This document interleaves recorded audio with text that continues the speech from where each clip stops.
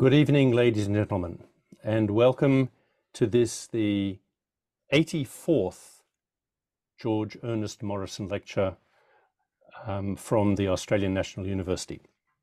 My name is Benjamin Penny. I'm the host of this lecture tonight.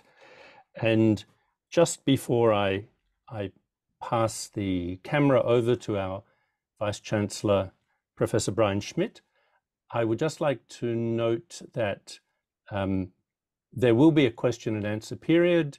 If you could lodge, write any questions in the, in the relevant panel on your Zoom screen, I will ask them of our guest speaker tonight at the end of his talk. The second thing I'd like to say before I hand over to our Vice Chancellor is to note that this is one of perhaps the last few occasions he will be hosting as Vice Chancellor. It's only a matter of weeks before he finishes up an eight year term.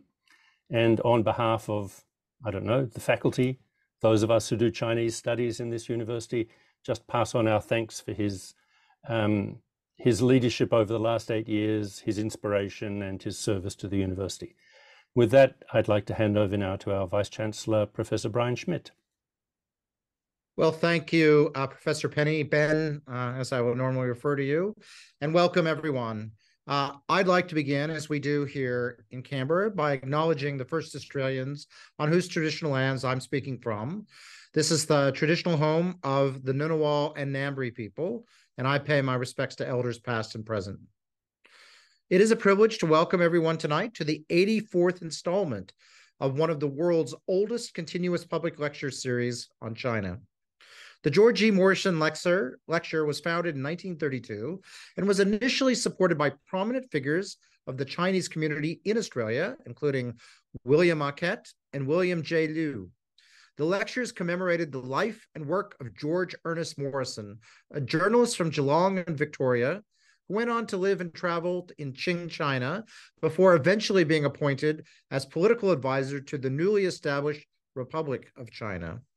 The aim of the lecture was to strengthen cultural relations and mutual understanding between Australia and China, particularly during the socially fraught years of the White Australia policy.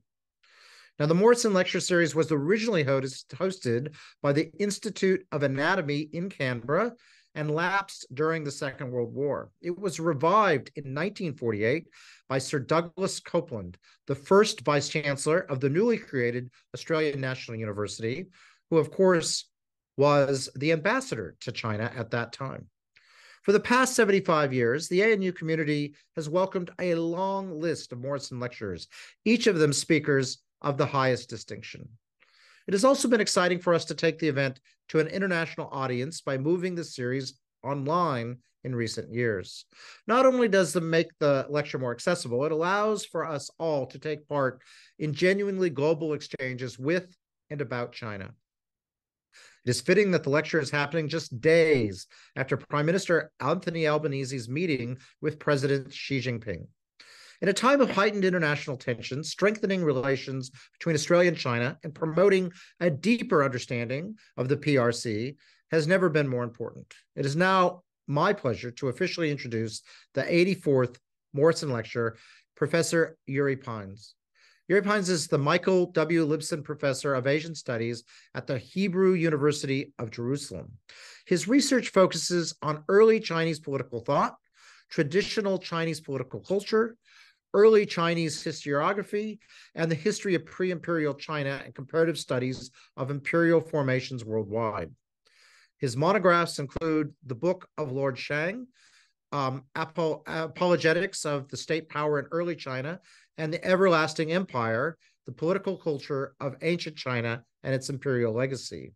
He has ed- edited a number of books, including the upcoming Dao Companion to Chinese Fa tradition, and has published over 150 articles and book chapters. It is an honor to have you with us, Yuri. It's great that you've been able to join us. And thank you so much for your time, everyone, and enjoy tonight's lecture. The floor is yours. Thank you very much. Thank you very much, Professor Schmidt. And I'm very much honored to participate in such a distinguished event and uh, to be invited uh, from Beijing. I am joining you from Beijing. And uh, without much ado, I think that uh, we shall start. Just, I hope that uh, you can see my my shared screen. We can see it. Thank you very much. Okay. Okay. Excellent. So, uh, you know, uh, it's very, it, it is the topic which I have uh, opted to discuss today. It is not a good topic to start to attract the mass audience, especially from outside China, to Chinese political philosophy or to Chinese to Chinese political culture, because normally I should I should have selected something nicer, or something more pleasant. For instance, discussing the idea of harmony in early China or the idea of uh, quest for peace or whatever, whatever, whatever. And there are a lot of great ideas in China which could have been discussed today. But I have opted for something a little bit different and a little bit provocative the idea of anti-intellectual uh, ideology in early China, ideology which is mostly associated with two, two guys to my left and to my right, to, to, the right and to the uh, left of the larger picture, Shang Yang and Han Fei, who are usually known in the West by the name legalists. I don't like the term legalists. I use the term Fa tradition, but whatever. Now, uh, I have selected this topic partly inspired by one of the greatest scholars of uh, traditional Chinese political thought and culture, Professor Yu Yingshi, the late Professor Yu Yingshi, who just passed away a few years ago. Uh, early in his career, he penned this famous article about the anti-intellectualism in China's political tradition. Uh, Professor Yu was writing during the heyday of anti-Confucian campaign, the very bizarre campaign in uh, mainland China, and uh, during the period of authoritarian rule in the Republic of China on Taiwan. So he was very pessimistic about Chinese political culture, about Chinese political tradition, and he felt that however nice the beginning were during Confucius' daytime, lifetime, later with the imperial unification, China became anti-intellectual.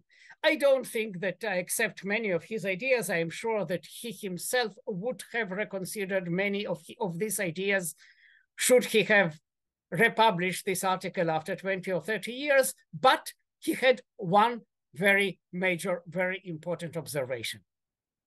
There is indeed, in Chinese political culture, in Chinese political thought, there is an idea that intellectuals are problematic, that they're useless, that they're needless, and actually that they are subversive.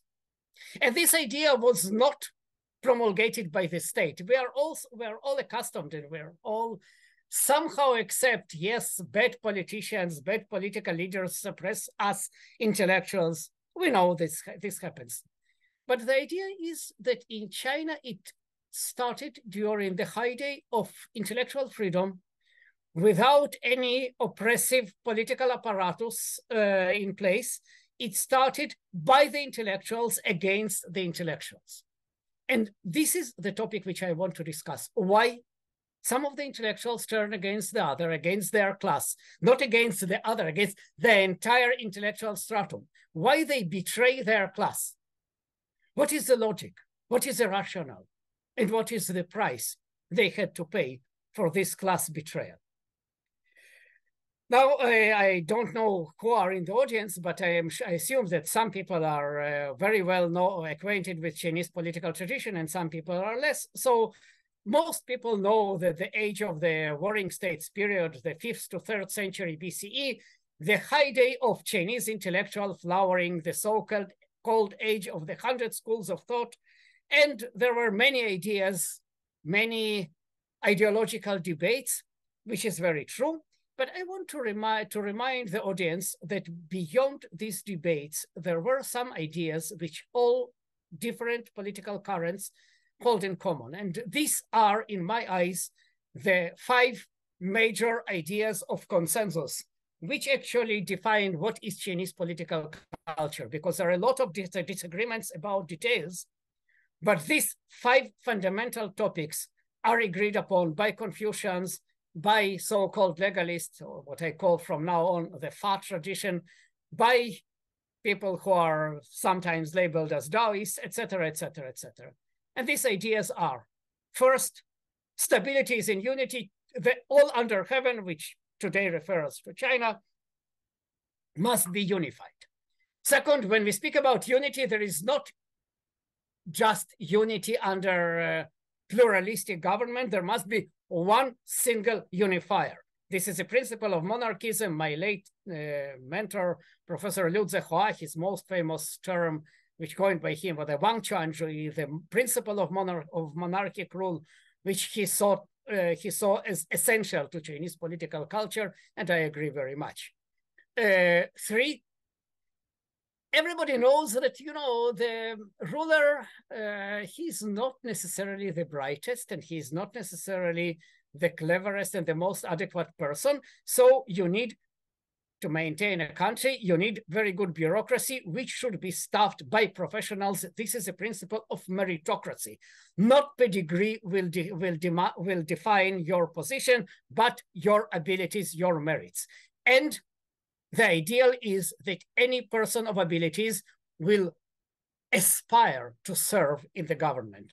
Not everybody will get into the government, but at least everybody will try. This was not very much, uh, this, this was not consensus. There were some debates about it, but most of the political thinkers agreed that a man, man of service or intellectual, which we shall uh, discuss immediately, this, this term, must serve in the government. And finally, the people, they deserve utmost concern, they deserve all the economic concern by the states, but they are not supposed to be participants in policy making, which I call the benevolent paternalism in Chinese. It is usually termed the min ben xiang, the people as the root of the government. Okay. These were the points of agreement. And everybody wanted to, to create, and which actually eventually was created, a powerful monarchic meritocratic political system, the Chinese Empire. We are speaking now about the centuries before the Chinese Empire was created.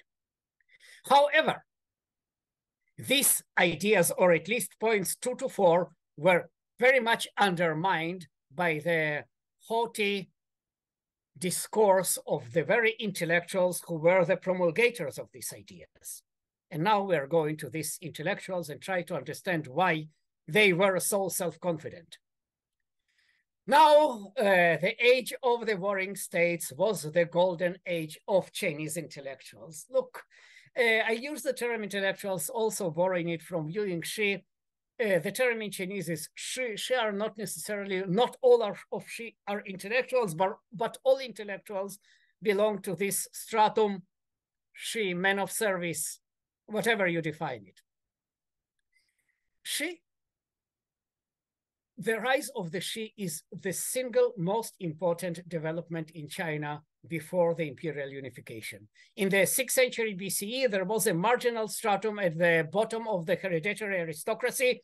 By the 4th century BCE, this was the new ruling elite. The idea of meritocracy allowed these people to move up despite having no observable pedigree. And it was amazing because, you know, there was a really bloodless revolution. They seized power from the hereditary aristocrats without all the bloodshed which accompanied social revolutions elsewhere. It is a very interesting topic not to be discussed today.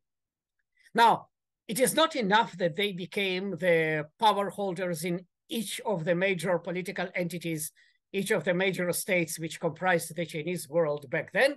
They were also the intellectual leaders, the unrivaled intellectual leaders. And this is also very interesting you know, in the 6th century BCE, for instance, we know from the text from that period, the Zuozhuan, for in, uh, the major text, that ideologically important pronouncements are made by courtiers, not necessarily by the rulers, but at least by high ministers. In the 4th century BCE, courts lose entirely their prestige in intellectual life.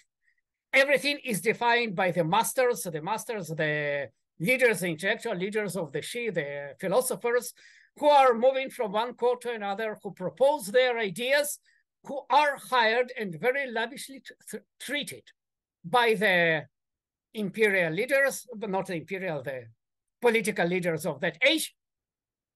And these guys are those who define what is right and what is wrong.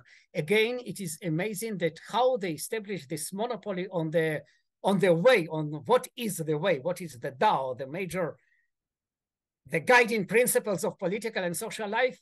I simply don't understand why nobody said, no, sorry, who are you guys? Why are you saying, to, telling to us what to do? It happens sometimes that intellectuals are really very much prized, and we are at the age that they were very much prized.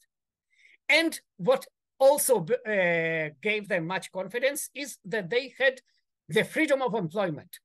Very much like us, you know, if I am not satisfied at the Hebrew University of Jerusalem and I have some quarrel with my president, which is potentially now may happen, if I don't like my president, uh, okay, I shall go. I shall go move to to Beijing University or to uh, Fudan University or to Heidelberg or to uh, Princeton or the worst of the worst to Tel Aviv University, the major rival of the Hebrew University of Jerusalem. Now, that is why the president will try not to alienate me very much, even if I am provocative, even if my political views are not exactly what he would like to see, he would try to be polite. And this was exactly the case of all these great intellectuals of the Warring States period who were saying very blatant things to the rulers, were very critical minded, were very daring to say to the rulers, You are nothing, I am much cleverer than you. And the rulers had to accept it because, you know, you can punish one intellectual, but then you will have a brain drain. Everybody will go to the court of another of your rival, and then you will be very weak. And nobody wanted to become weak. So, this peculiar situation, you combine A, political power, B, intellectual authority, C, the freedom of movement, which empowers you vis a vis the, the rulers, all this creates a very peculiar situation of haughty, proshy discourse which permits the texts of the Warring States period. And against this discourse, my heroes, the Fa thinkers, will uh, come in. But before we go into the Fa thinkers, let me explain you what I mean by the haughtiness, not just self-confidence, but just haughtiness. Look, Mengzi, you know, everybody likes Mengzi, I'm sure that everybody who studied a little bit about China knows this name, Mencius or Mengzi, so proud of himself. And he says, ah, there are three matters that command respect under heaven. First is rank, second is age, third is virtue. At court, rank is supreme. Uh, in the village community, age, but in supporting the generation and prolonging the people's life, nothing is comparable to virtue. So nice. Now, Come on. Therefore, the ruler who has great plans must have a ministers who cannot be summoned. No, you see, you are the ruler. You want me to serve you. You must be very polite. You must treat me very politely because otherwise, sorry, I don't feel that I am your inferior. There are two parallel pyramids. The one is political, which you are indeed at the head of it. And the second one is moral and intellectual, which I am at the top of it. And it goes to very dangerous implications. Look, for instance, Mengzi says about uh, the grandson of Confucius who is uh, meeting the Lord uh, of the state of Lu, and the Lord Mu went to Zisi and asked him, in antiquity, how did the rulers of a mid, mid, medial uh, small state manage to befriend Shi? Now, sorry, what is this question? We almost so much be glad that presidents of our countries or prime ministers of our countries or even presidents of our universities will ask us, ah, what should we do in order to befriend professors of humanities? So nice. Now, Zisi did not like that. And Mengzi said, Zisi had to answer, judging by position, you are the ruler and I am the minister. How dare I befriend the ruler? Now, judging by virtue, you serve me. How can you befriend me? And ladies and gentlemen, virtue, we all know it is a very nice term, and usually it indeed, it indeed refers to moral virtue and more morally nice behavior. But everybody knew, and Mengzi knew it perfectly, that the same term also refers to charisma, mana, to your power, to your legitimacy, to actually something which makes you fitting to be a ruler. And if you tell the ruler that you need to serve me, serving, you can see it in Chinese, those of you who read Chinese, it adds if you say the ruler that you need to serve me, it means you are his superior. Theoretically, even politically, you are his superior. This is intolerable. Now, you see, Mengzi as every thinker, he was committed to the idea of the monarchism, that there must be only one ruler and we all must serve him. But when you say these things, how can you serve the monarch if you so much believe that you are his superior? And look, Mengzi, of course, I will not attack Mengzi. He's the darling of all the intellectuals in China and in of many intellectuals worldwide. But look, Mengzi was a nice guy, a very moral guy. There were a lot of people who were less moral and less nice. And they used this discourse of Mengzi and his like to just say, you must respect me and I don't have any obligations to you, you, your majesty.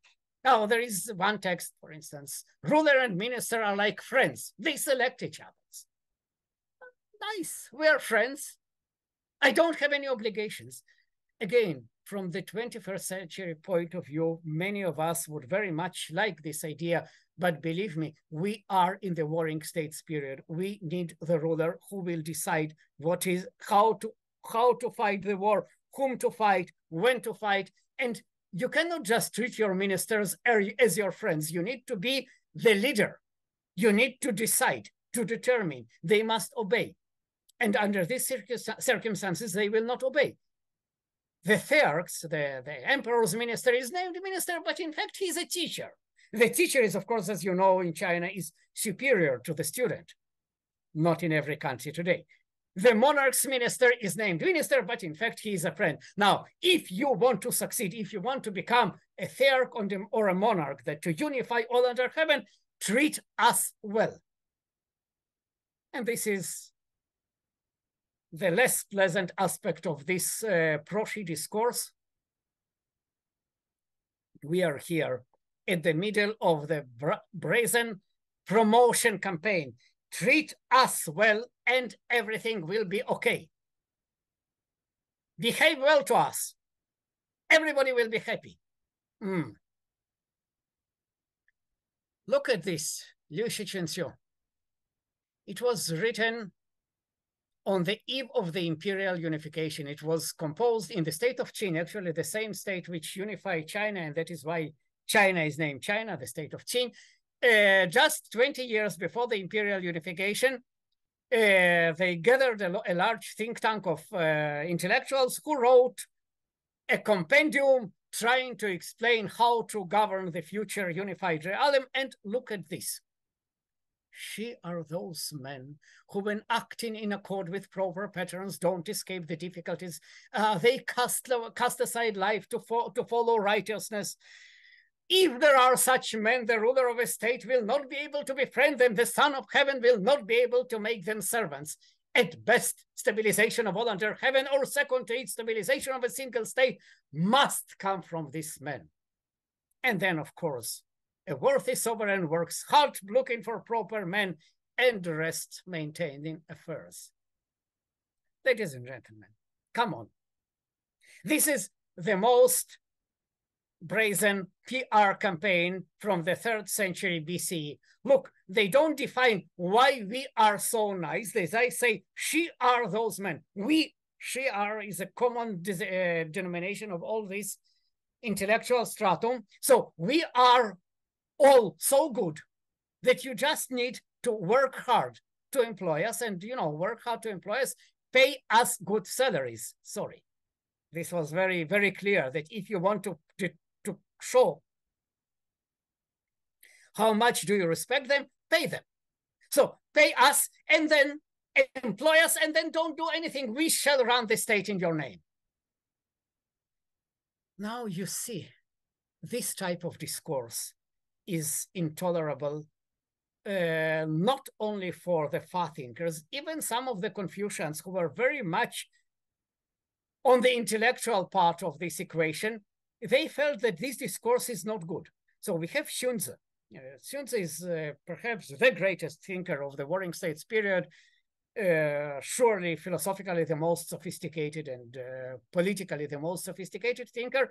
And uh, Xunzi, he feels it doesn't go in the right, in the right direction. So he still very much defends the autonomy and the pride of the Shi. But he dismisses entirely the idea of ruler-minister's friendship. He dismisses entirely all this haughty discourse which uh, characterizes Mengzi and his like. And, and now we come finally to the point of suppressing intellectuals. Xunzi believes that some ideas are not good, and the ideas which are not good should not be allowed to be promulgated.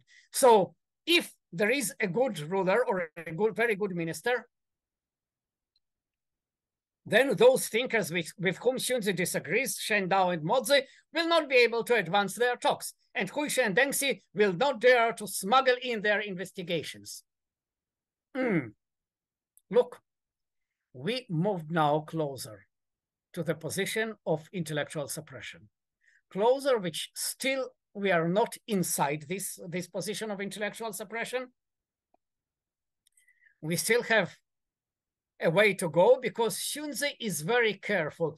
Yes, ideally, ideally, when there is a sage monarch, the monarch who is intellectually and not just politically superior to everybody, yes, he is allowed to prohibit vile, vile, vile uh, undertakings, vile argumentations, and vile, vile understandings. But the sage monarchs had passed away.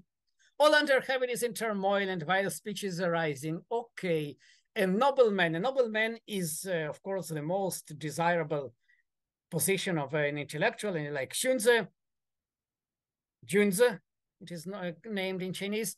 I have neither positional power nor punitive means, so I can only use argumentative persuasions to confront these bad guys, which means we still shall not suppress them. We shall debate against them, we shall explain how bad they are, but I am not in the position to suppress them. When there will be the real sage monarch, then okay, these people can be suppressed. Now, Xunzi was very careful because he did not believe that sage monarchs are very often coming to this world. So he could say, when there will be the sage monarch, we shall see. But there were guys who were much more blatant, and we are now turning finally to the heroes of my presentation, to Lord Shang and Han Fei. Lord Shang, the Qin reformer of the 4th century BCE. He penned the book named Shang Shu, or the Book of Lord Shang. Han Fei lived a century later. Uh, both of them are usually defined as a Fa thinkers or legalists or so-called legalists. So they have something things in common, but actually a lot of separate emphases. What they have in common that they believe Shi are useless. And why they are useless? Because we are in the warring states world. And we go to, when we go to war, sorry, professors of humanities are useless. When we go to war, we need fighters and we need tillers to, to work at home and to provide to have enough grain to, to feed the armies and the armies to conquer more territories and to have more subjects to uh, feed more armies, and then finally we shall unify all under heaven, which will indeed happen, which was Shang Yang's idea. So Shi, they don't belong to this. They're useless. Second, if we allow them to advance, then there is no possibility to reward adequately those who really benefit the state. And as you understand, those who benefit the state really, according to Shang Yang, is not my idea, his idea, that those who benefit the state really are tillers and soldiers, and there is no place to advance intellectuals. Moreover, these intellectuals are by default unruly because they move from one place to another. They don't have a clear place to, to which they belong. They can defy any ruler, and this is very dangerous. So let us just suppress them. And I shall start with uh, Lord Shang, and then with, I shall go to Han Fei. You shall see Han Feizi is much deeper in analyzing the discourse of the intellectuals. Lord Shang did not understand very much the dangers of subversive discourse. Han Feizi was very like modern uh, censorship. He knew very well who is subversive of the state order, but we shall start with Shang Yang and then go to Han Fei. And we shall start with the citation which everybody hates. This is what the Lord Shang says. The six parasites, rites and music, poems and documents, the canonical texts, self-cultivation and goodness, filial piety and fraternal duties, sincerity and trustworthiness, integrity and uprightness, etc., etc., etc. This is called the, uh, the six parasites overcoming the government. When, the, when the 12 take root, the state will surely be dismembered. Now, this is really frightening. Okay, we can live without rites and music, you know, it is a court music.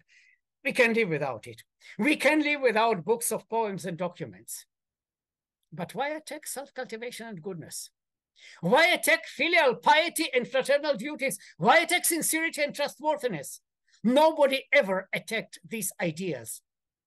In Chinese history, except Zhuangzi a little bit, it is important to, re to recall a very controversial, another controversial thinker from a very different political part of the spectrum, but we shall not discuss Zhuangzi now. Why Shang Yang attacks them? He knew, of course, that he alienated everybody. Just as today, back then, 23 centuries ago, when you say these things, everybody feels alienated. But why he says it? Because his rhetoric is not against morality as such. His rhetoric is against moralizing discourse people later did not understand well, and that is why they hated him. Su Dongpo, Su Shi, one of the greatest Chinese intellectuals in the entire history of China, of China, he said once, the scholars are ashamed to speak about Shang Yang, you know, which is very true today. I shall tell it by the end of my presentation. But Shang Yang attacks this discourse because those who speak, not those who really are filial and fraternal. This is not the problem. Those who, those who speak about filiality and fraternity, benevolence and righteousness, they usually do it in order to promote themselves at the expense of tillers and soldiers. And Shang Yang believed that only tillers and soldiers matter. And he created a new, very peculiar political system in which all the society was divided into 20 ranks of merit and these ranks of merit were granted on a, through the very objective, quantifiable criteria. You will not like this criteria because uh, the easiest way to gain rank of merit was to kill the enemy at the battlefield, to cut the head of the armored soldier from the enemy, and you are granted one rank. It is per capita advancement, per capita social advancement, if you like.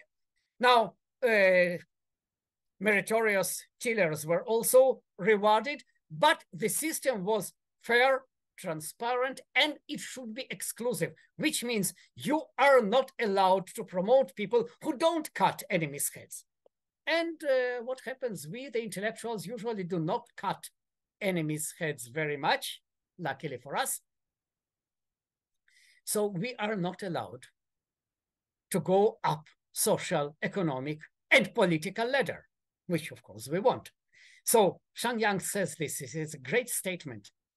Hence it is said, when 1,000 people are engaged in agriculture and warfare, and there is a single man among them engaged in poems, documents, argumentative, argumentativeness, and cleverness, 1,000 people will all become remiss in agriculture and warfare. You know, I believe that the entire corpus of early Chinese political thought and maybe entire corpus of human political thought, nobody said so nice things about the impact of the intellectuals. Just one professor of humanities can destroy the entire warring country. 1,000 people are engaged in agriculture and warfare, and then you have one professor of humanities, and everything will be destroyed immediately. Mm, nice. He really respected us. But of course, he considered these intellectuals as, a, as caterpillars who eat society from, from within and who are dangerous politically. Because if they, if learning becomes habitual, the people turn their backs on farming. So even the people follow talkers and persuaders, speak grand words and engage in false debates. They turn back on farming and travel to get food, trying to exceed each other in words. And then they abandon their superiors, and those who don't behave as subjects become more and more numerous. This is the teaching that impoverishes the state and weakens the army. Now, you see, uh, we cannot deny that uh, there is some rationale behind his ideas. If you really want every people, everybody in your state to become A, soldier, B, tiller, in his free time, he will till the land, and when he goes to the army, he will cut enemies' heads. Then uh, why, why, why support intellectuals? Uh, and this is the reason of the very harsh anti-intellectualism of Shang Yang. But Shang Yang did not go far enough because he was much less interested in or much less aware of or much less sophisticated to pay attention to the discourse of the intellectuals. He did not very much pay attention to how they construct the system in which they are superior to everybody else. And this, now we go to Han Fei, who is the real heir of Shang Yang and develops his ideas and adds new dimensions to, his, to, to these ideas. Han Fei believed very much, like Shang Yang, that intellectuals are useless. You see, when the state is at peace, it fosters Confucians and the bra bravos. When the troubles come, it uses armored shi soldiers. Shi is also meaning a soldier. It is very nice playing with the different semantic meanings of the same term. So those whom the state benefits are not those whom it uses. Those whom it uses are not those whom it benefits. We have seen it already in Shang Yang. No need to waste your time. Look at the second citation. It is very interesting. Nowadays, all people within the border borders discourse on orderly rule and families possess the laws of Shangyang and Guanzhong. Shangyang is the same Shangyang. Guanzhong is another model personality for Han Fei. Uh, what is called their laws are actually not the laws, but their ideas. They are ideals. These are ideals which Han Feizi himself shared very much. But he thinks that if the people engaged in are engaged in learning the ideas of Shangyang and Guanzhong, the state is still getting poorer and poorer because those who discourse on tilling the fields are many, yet those who handle the plow are few. If you want to say who is the greatest anti-intellectual, it is Han Fei. He says, even my own ideas, even the ideas in which I believe, are useless. We don't need ideas. We need tillers and soldiers and we don't need intellectuals. We don't need people like myself because Shang Yang is one of the very few intellectuals whom Han Fei really admired. But still, we don't need his views. We don't need his ideas. That is why, actually, for those of you who think that the so-called legalism is totalitarian, no, it is not totalitarian because it does not have this ideocratic idea. You don't have brainwashing, ah, repeat our ideas. No, you don't need any ideas. The state will not impose ideology. The state just imposes rules of the game and then go to fight the war, till the soil, and live your life. We don't need you to believe in our ideas. We just don't believe in the ideas which are detrimental to us. It is a negative suppression, but not positive brainwashing. Now, if Han Fei is so critical of the ideas of the people whom he normally respects, then think how he treats the people whom he doesn't respect the scholars, students of the text, Confucians, Mohists, and so and so forth and so forth. Now, these are they epitomize uselessness. First, because they are attached to the irrelevant past and they don't understand the present. Second, because all their sophisticated words, even the most intelligent find hard to understand. You know, all this philosophy. Who needs philosophy? We need something practical. C, the moralizers, those who bring morality into politics, they speak about abstract moral values. And uh, as we know, well into our days, people disagree very violently, I would say, what are what is real democracy, what are real human rights, what are real what is real so socialism when socialism was popular, etc., etc., etc. What is real patriotism? It is very difficult to come to terms with these abstract terms, and Hanfei says you just cannot establish simultaneously this motley and contradictory teaching and attain orderly rule. Dismiss them. We don't need these intellectuals who are engaged in useless debates about things which are not practical. And to add another dimension to their detrimental impact, their morality is usually a private morality, which is good for one individual or for one family or for one social group, but not for the state. Because a filial son, you know, why should a filial son go to the battle to fight against the state of Chu or against the state of Wei, to die at the battlefield and let his father die at home of hunger? A filial son just should abandon the army and go back to feed his father, which is maybe a good idea. don't, don't say that it is a bad idea, but from the point of view of the state, it is a very bad idea. So we need to dismiss this discourse. This is point number one of Hanfei.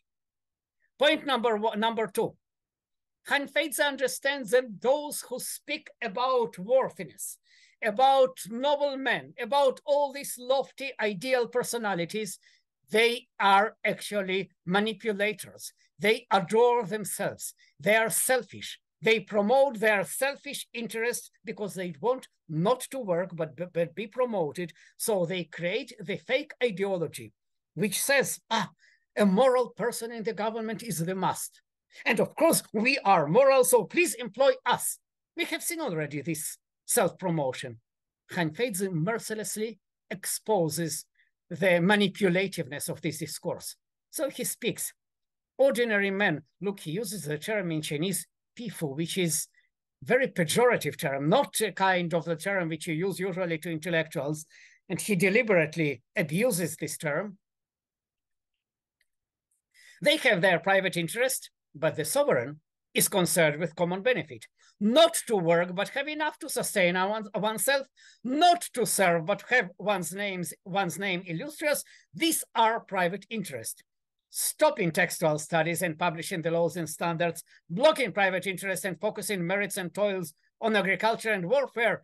This is the common benefit. So sorry. The fake noblemen and Han Feizi time and again, he's, he, he shows how all these definitions, which Confucians and Mois and all the moralizers promote, how all these definitions serve their selfish interest because they define those who contradict the ruler as a moral man. No, we need those who obey the ruler. They are the moral men according to Hanfei. Abandon this discourse.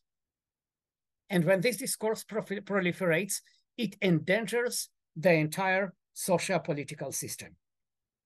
And you can see it here very clearly.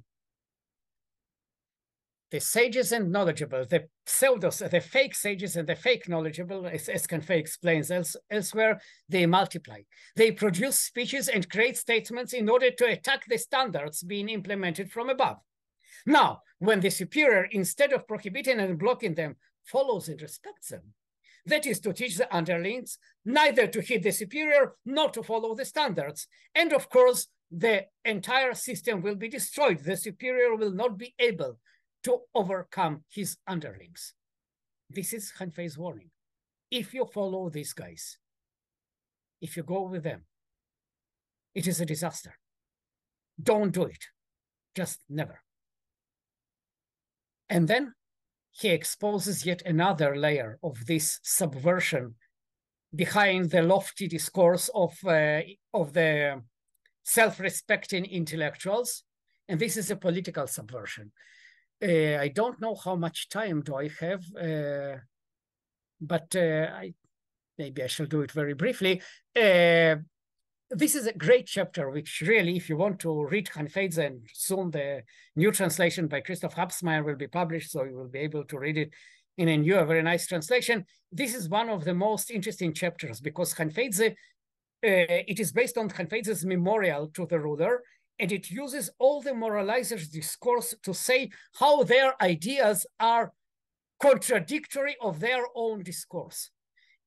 You know, the moralizers adored the great leaders of the past, Kings Wen and Wu, who, uh, King, King, Kings Tang and Kings Wen, King, King Wu, who overthrew the tyrants, and the legendary thearchs Yao and Shun, who yielded power to others, not to their sons, but to their meritorious ministers. And Hanfei says, hmm, everybody affirms the way of Yao and Shun and models himself accordingly. Hence, some murder their rulers and some behave hypocritically toward their fathers. Yao and Shun, Kings Tang and Wu, each of them oppose the propriety of ruler and minister, wreaking havoc in the teachings for future generations. Of course, because all these guys who used the examples of the legendary or semi-legendary rulers from the past, who subverted the idea of hereditary power transfer, they very really wanted to discontinue the idiotic system of dynastic rule.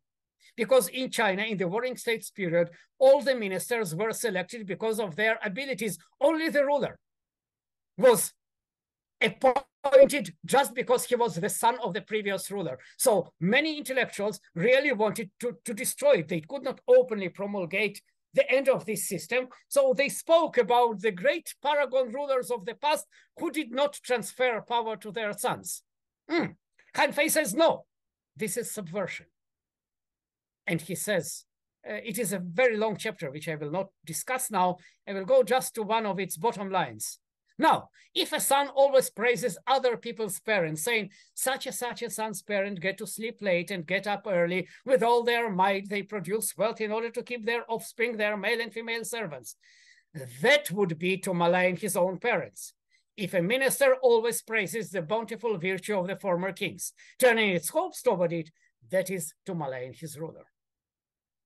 You know, ladies and gentlemen, I am now giving the lecture from Beijing.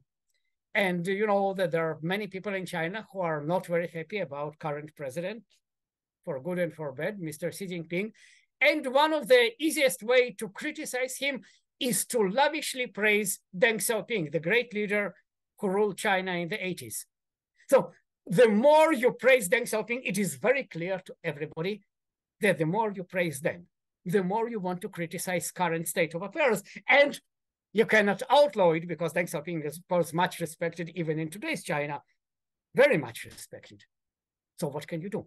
Han Fei is a clever guy who shows, yes, people who praise the previous rulers, you know, I don't know whether vice president is still listening, but if some of you in your university lavishly praise the former vice president and says, he was so great, it usually implies some criticism of the current vice president.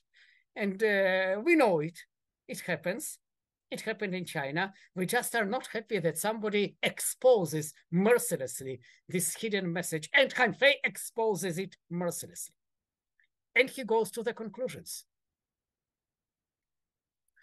Thus, one subject should not praise the worthiness of Yao and Shun, should not extol the punitive expeditions of Tang and Wu, should not talk of the loftiness of Zillow's men of service.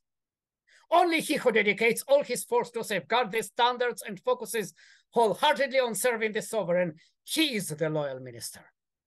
Sorry. No promulgation of the worthiness of the former leaders. No discourse through which you can criticize the current rulers. Just serve the ruler. And Hanfei goes one step further and he says, Accordingly, in the country of a clear-sighted sovereign, there are no texts written in books and on bamboo strips, but the law is the, the, teaching. There are no discourses of the former monarchs, but officials are the teachers. There is no private wielding of swords, but beheading enemy is the valor. Ladies and gentlemen, no text written in books and on bamboo strips. We just don't need any private learning. We need to nationalize. Yes, the law is the teaching, and the official are the the official is the teacher. We don't need all these private intellectuals. We don't need all these ideas which are outside the system of the state control. Han Fei was killed by the guy who was his intellectual ally and political rival, Li Si. Li Si was more successful. He became the prime minister of the unifying Qin dynasty.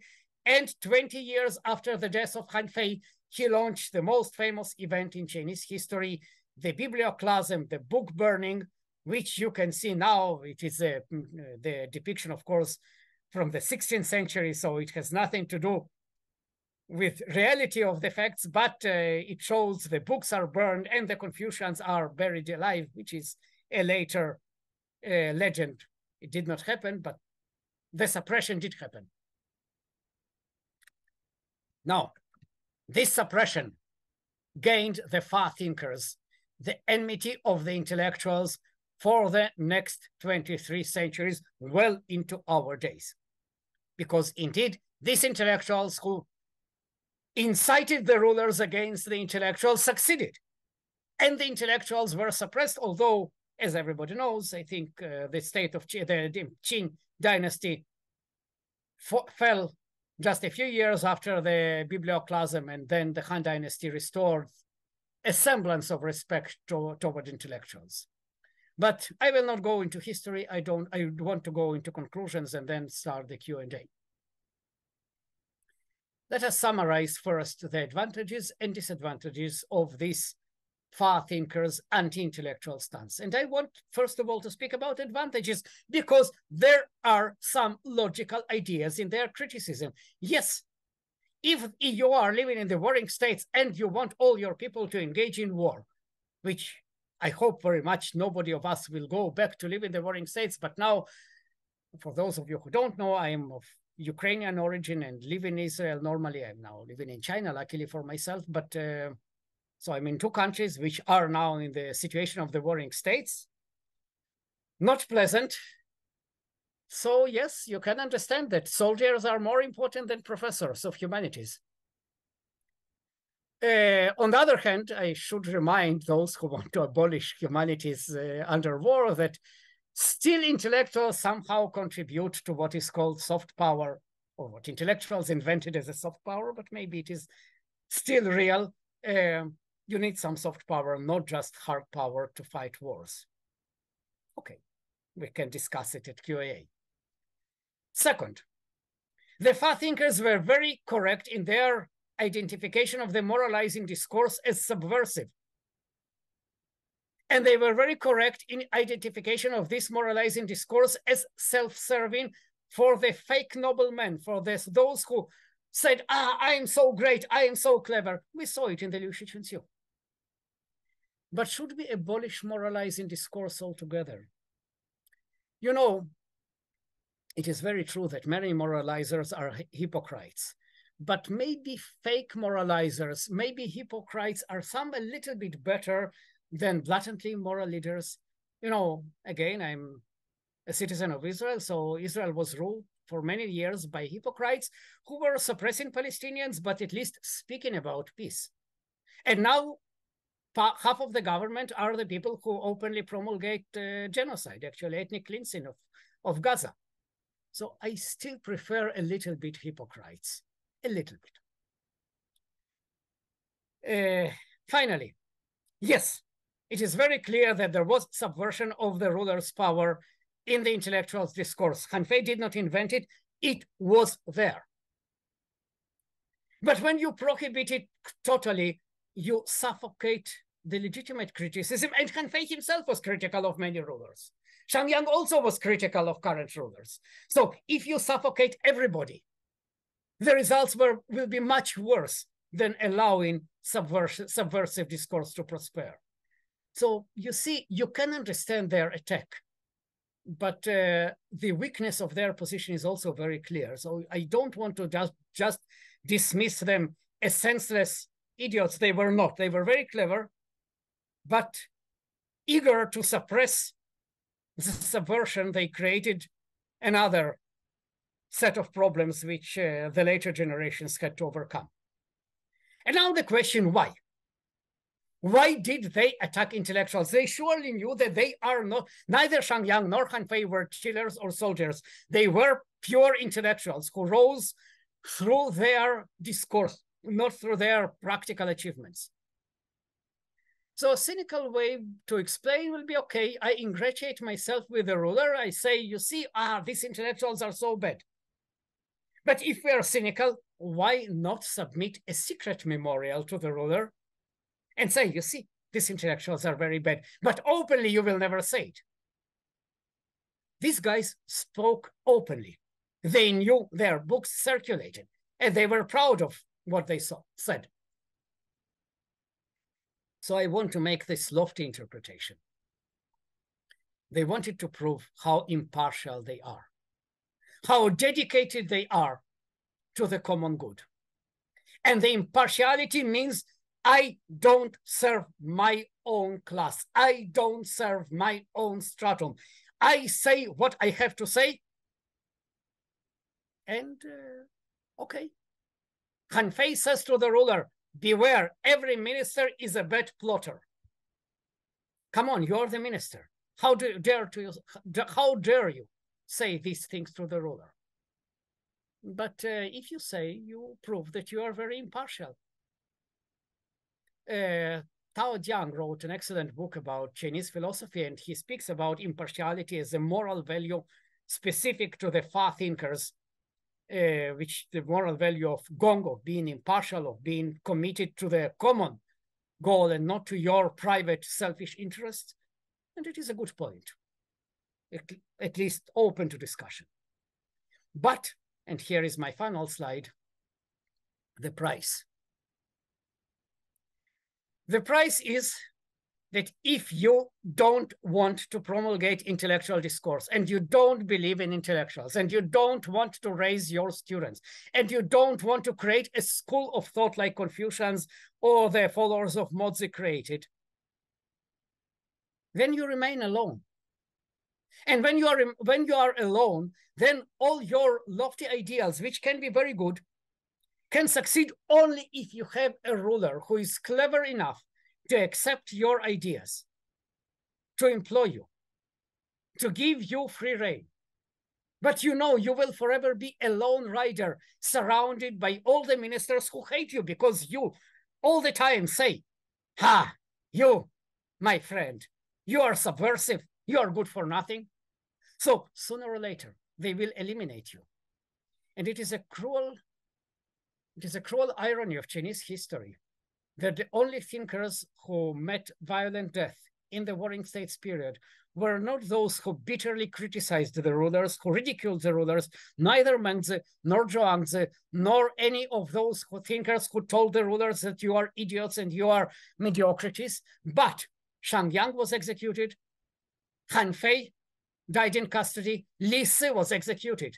Only those who were fully committed to the rulers, to autocracy, met their cruel fate because the rulers are not reliable. You still need some support among the fellow intellectuals, and when you betray them, they betray you. And unfortunately, in the long term, uh, it created a bad situation that the ideas of the Fa thinkers, which aside from what I discussed today, they have a lot of interesting ideas, not maybe very nice, but surely very interesting. These ideas were somehow sidelined. Everybody knew that they are practically very good, but nobody dared to discuss them openly. And this is, to a certain extent, the situation in academy well into our days. And I think that now, after 23 centuries, we can forgive them for their naughty anti-intellectual discourse and try to evaluate their ideas at their own value without considering them class traitors. But 23 years of oblivion is the great tragedy of Fa thinkers. thank you very much. And now I'm open to the questions.